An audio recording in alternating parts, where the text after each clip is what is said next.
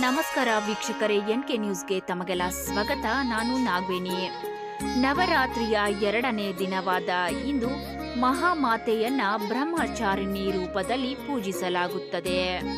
ಮಹಾಮಾತೆಯು ಶ್ವೇತವರ್ಣ ಪ್ರಿಯಳು.